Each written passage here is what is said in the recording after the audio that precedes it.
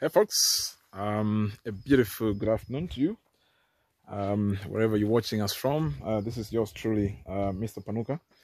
Uh, today we're coming from greenhouse number five uh, here at Panuka Farm. Um, and uh, we just want to touch on something a little, you know, quick. Um, so catch us uh, shortly as we just, you know, share you know some of our findings on fertility trenches um, you know and some of the other you know aspects that you need to do uh, to make sure that they actually work uh, for you.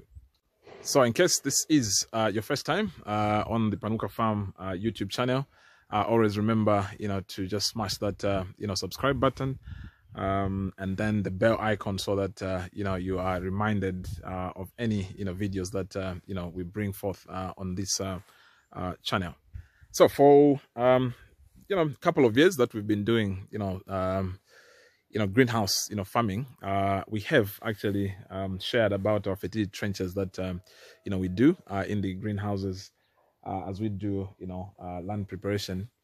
Um, but we are actually redoing that uh, in this uh, you know greenhouse arising from some of the findings. And apparently one of the issues is that um, you know the plant you know residues that actually we put underneath um, the fertility trenches were actually buried too deep. Um, I think along the way we've actually you know come to realize that um, if you are going to put any you know fertility you know material, be it uh, farm residues, uh, grass or whatever, um, they've got to be within the range, you know, the the the root you know range of the crops that you are going to farm.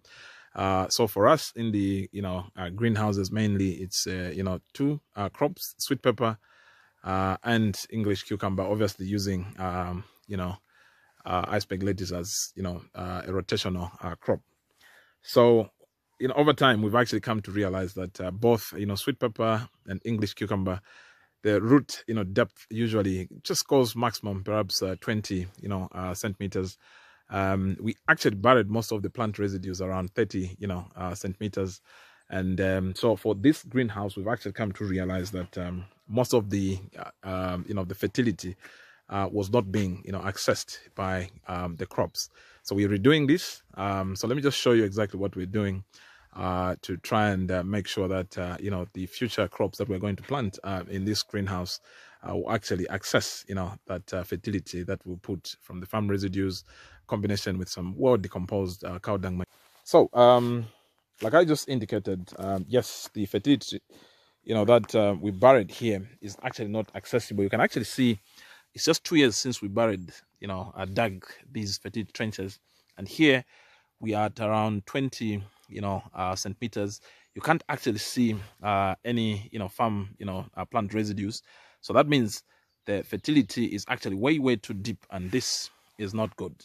Um, and apparently it was actually quite easy to, to notice um, the fact that um, the fertility is way way too deep given you know the performance of the crops in uh, this greenhouse. And apparently i think there are a few more other greenhouses that where we've noted that we did this a bit you know too deep.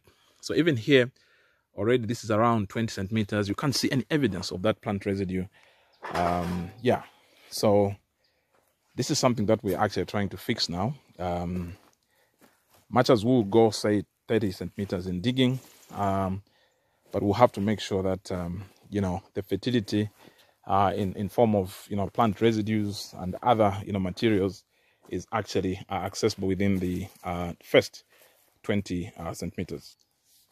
So this is why you know we always encourage you as farmers or fellow farmers, as it were, that um, as you journey through your farming, um, you know you have to actually collect you know evidence um, there's a lot of books, you know, out there that will tell you, you know, the do's and don'ts. Um, but I think you gain a lot more, I think, from practice and uh, make sure that you're actually very observant in what's going on with your crop and some of the practices that you've done. Um, and then make amends. Okay. So that's, that's the journey of farming.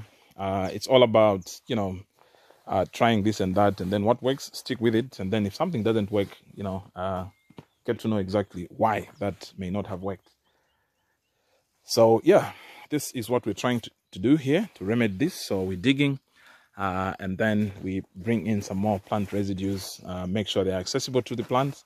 Uh, and then we bury within the you know first 20 uh, centimeters, and uh, we're going to observe, I think, over time. But I think we're quite optimistic that uh, uh, it might actually be a good thing uh, that um, we are, you know, reviewing, you know, the protocols around the making of uh, fertility trenches. So there you have it. Uh, I'm actually, you know, sweating. You can actually see. it's hot out there, but also the greenhouse, you know, environment is naturally quite hot. So it's quite, you know, um, you know, a double-edged, you know, sword as it were in terms of heat.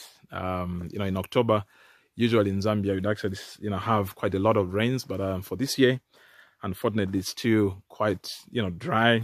Uh, I think the meteorological, you know, department is actually projecting that we might have rains around, you know, 15th of uh, December, just a couple of days from now. Yeah.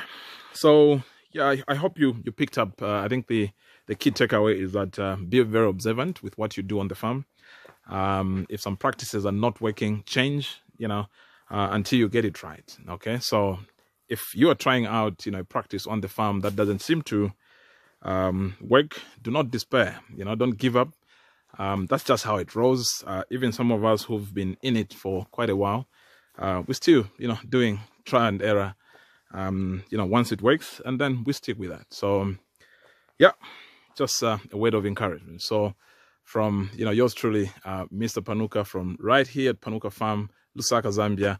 Have a lovely one wherever you are, and uh, please remember to subscribe, journeying you know towards uh, you know increasing our coverage uh, so so that uh, you know this good news of farming uh, can actually reach uh, to quite a number of people you know out there. So have a lovely one. Bye bye.